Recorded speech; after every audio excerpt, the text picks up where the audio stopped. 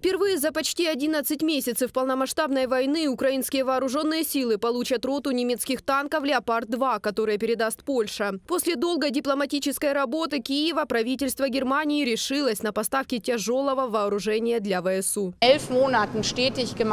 За последние 10 месяцев вместе с нашими партнерами мы приложили усилия к тому, чтобы были поставки снарядов и для ПВО, и для гепардов. Последнее решение – передача боевых машин пехоты «Мардер». Теперь я могу сказать, что мы продолжим партнерство и поставки. Я сегодня здесь, чтобы своими глазами увидеть, насколько важна эта помощь и насколько она полезна для Украины. На вооружении ВСУ вскоре будут немецкие бронемашины «Мардер», боевые машины пехоты из США М2 «Брэдли» и французские тяжелые бронеавтомобили AMX-10RC. Техника разрабатывалась в годы Холодной войны и предназначена для уничтожения советского оружия, которым до сих пор воюет российская армия. Неизменной остается поддержка Британии. Лондон принял решение передать Киеву танки «Челленджер-2».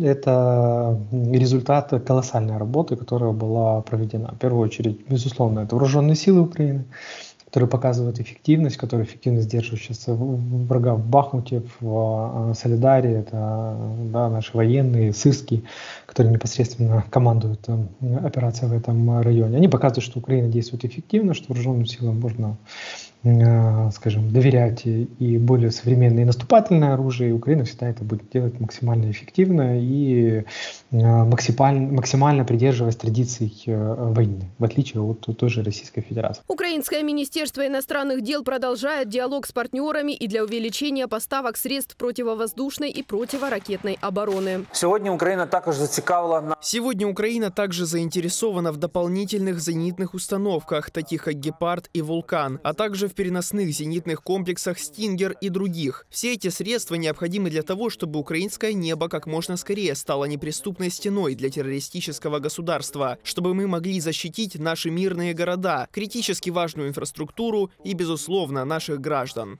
Кроме того, Киев настаивает на создании механизма, согласно которому Россия обязана будет выплатить Украине репарации. Среди стран-приверженцев инициативы – Эстония провел разговор с Урмасом Рейнсалу. Обсудили военные потребности Украины, которые может удовлетворить Эстония. Ждем хороших новостей. Я также поблагодарил Эстонию за инициативу по созданию механизма компенсации и подчеркнул, что это важный элемент формулы мира. Россия должна платить. Дмитрий Кулеба, министр иностранных дел Украины, в Твиттер. У лидеров цивилизованных западных стран не осталось сомнений в том, что Украина использует современное вооружение эффективно, уверены специалисты. Поддержка Киева в Европе и Соединенных Штатах беспрецедентна, а скептиков, которые сомневаются в будущей победе ВСУ, все меньше. Это очень рисковый э, подход э, оставаться таким бронелобом в контексте там, неподдержки Украины. Да, у нас есть азийские страны, да, у нас есть там Китай, у нас есть там Индия,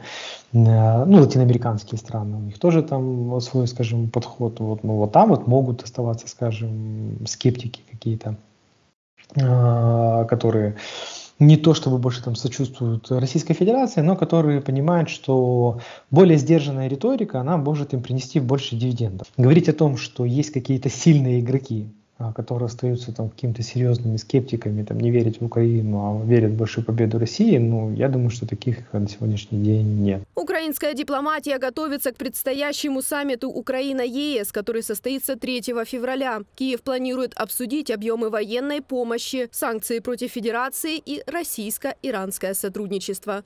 Лариса Зубенко для телеканала Freedom.